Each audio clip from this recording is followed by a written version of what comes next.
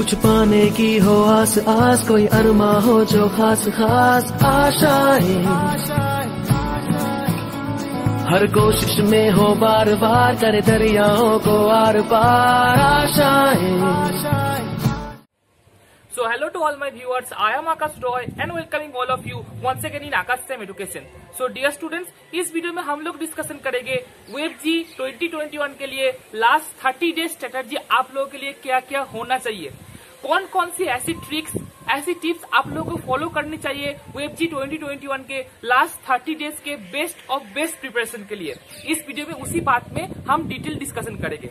तो dear students video को मन लगे देखना एंड साथ साथ जो फ्रेंड्स चैनल पे पहली बार आ रहे हो चैनल को सब्सक्राइब करना बिकॉज़ अगस्त मेडिकेशन पे, आगे के दिन पे भी web JEE preparation and council related बहुत सारी वीडियो आपको मिलती रहेगी।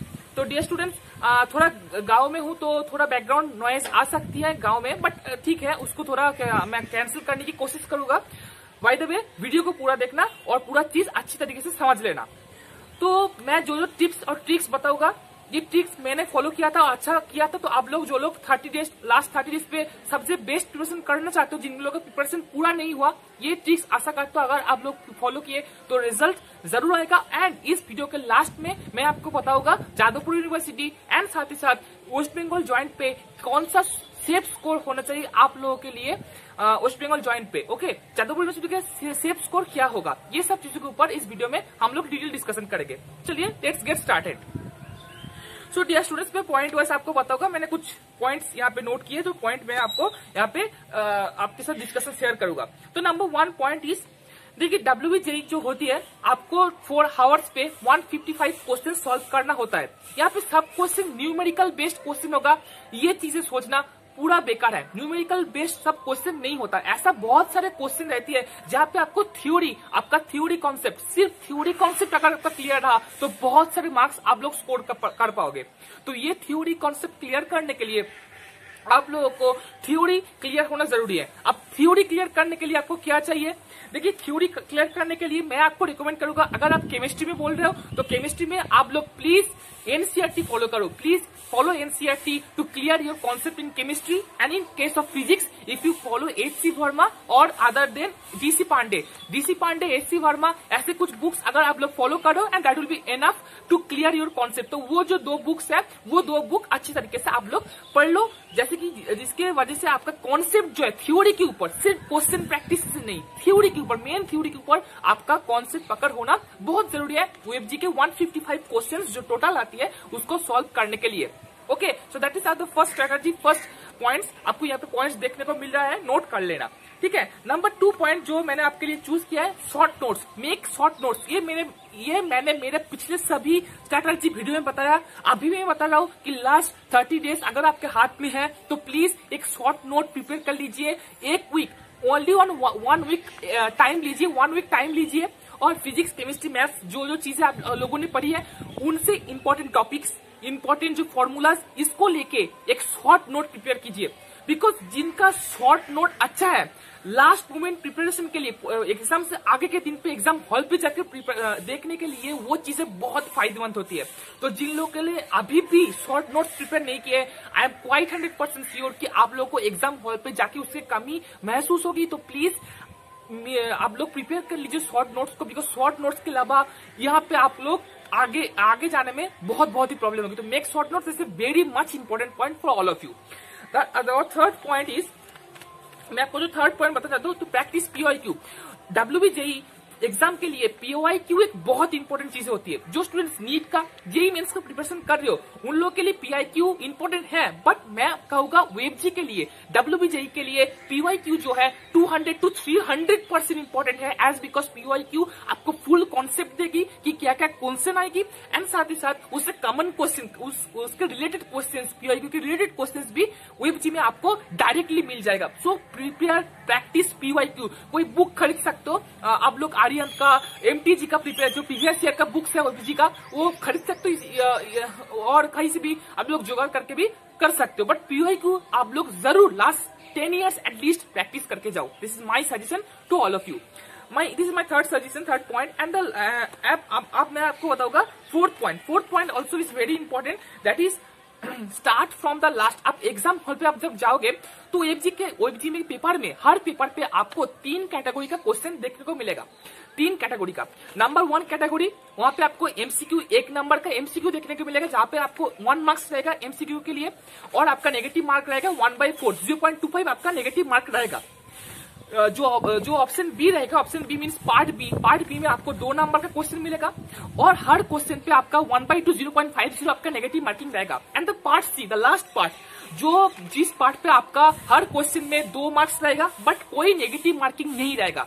Last ten question for mathematics and last five question for physics and chemistry total twenty question मैं आपको रिक्वेस्ट करूँगा कि अगर आप लोग पहले से देखने को शुरू करोगे तो लास्ट में जाके वो क्वेश्चन ठीक से अटेंड नहीं करोगे, कर पाओगे।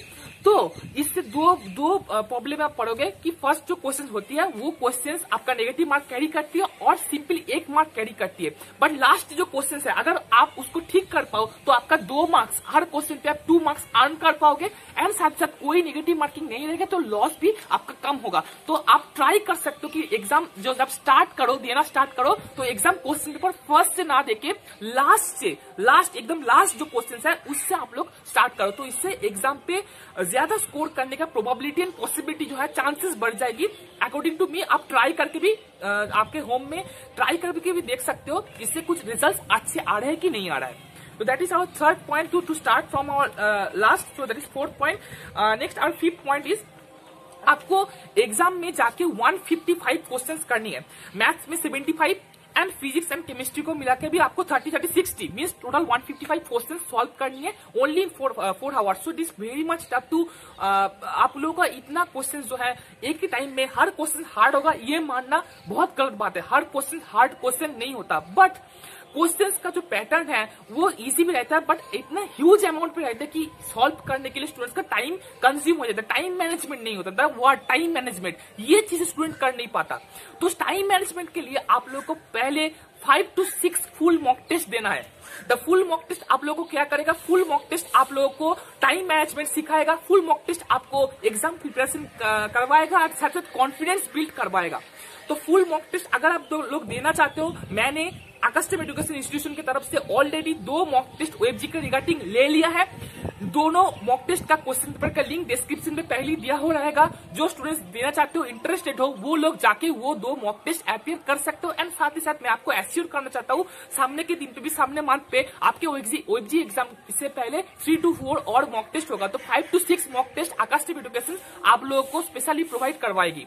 तो आप लोग वो सब मॉक टेस्ट पे अपियर होके अपना कॉन्फिडेंस बिल्ड कर सकते हो। So that is the mock test five to six full mock test जो आपको देना है। This is our fifth point तो that's the point that's the important point for me जो ये पाँच पॉइंट्स आपको लास्ट वन मंथ पे फॉलो करनी है अकॉर्डिंग टू मी अगर आप लोग ये पॉइंट्स फॉलो किए तो आशा करता हूँ जो स्कोर आप लोग आप ट्राई कर रहे हो, वो स्कोर तो ज़रूर आप लोग अचीव कर पाओगे। अब बातें आती है सेफ़ स्कोर सर कितना है ये ये थॉट्स बहुत से स्टूडेंट्स का है। बहुत से स्टूडेंट्स ने मुझको पूछा, जादवपुर यूनिवर्सिटी का सेफ़ स्कोर सर क्या है? सर वेबजी में कोई एक कॉलेज पढ़ने के लिए, अच्छे कॉलेज पढ़ने के लिए सेफ़ स्कोर क्या है?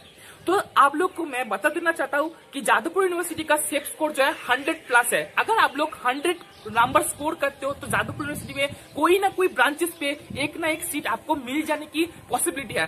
एंड मैंने जो चीज़ अभी बताया, वो सब चीज़ जनरल कैटेगरी के लिए for the general category okay so ये चीज़ें जादवपुर यूनिवर्सिटी के for general category hundred marks है ओबीसी ओबीसी के लिए आप कह सकते हो एट्टी फाइव एंड एससी के लिए सेवेंटी फाइव एंड एस के लिए sixty five that is the safe score category wise for Jadavpur university and आप कह सकते हो कि गुड रैंक तो कोई कोई अच्छा कॉलेज के जी जीईसी जेजीईसी कोई भी आईईएम कोई भी अच्छा कॉलेज पाने के लिए कितना सेफ़ स्कोर करना पड़ता है? तो आप लोगों का वेबजी का सेफ़ स्कोर जो होती है, वो लगभग 60 टू 65 अगर आपका 65 से अब रहा तो ज़रूर कोई ना कोई अच्छी कॉलेज पे ठीक ठाक सी ब्रांच आपको मिल जाएगी। So that will be the safe score for all of you so so, आज के वीडियो में स्टूडेंट्स इतना ही। इस वीडियो में हमने डिस्कशन किया कि लास्ट थर्टी डेज़ में कितना कि, कौन कौन सी स्ट्रेटेजी मान के आपको फॉलो करके आपको प्रिपरेशन करना चाहिए। And as well as Jadavpur university and India Kolkata में एंड वेस्ट बंगाल पे रहा मोस्ट इंपॉर्टेंट कॉलेजेस पे कितना सेफ़ स्कोर जा सकते हैं उसके बारे में। तो meet you in the next video तो तब तक के लिए थैंक यू एंड फ्रेंड्स के साथ शेयर करना अगर ये हेल्पफुल था तो। आज के लिए इतना ही। Thank you for watching thank you to all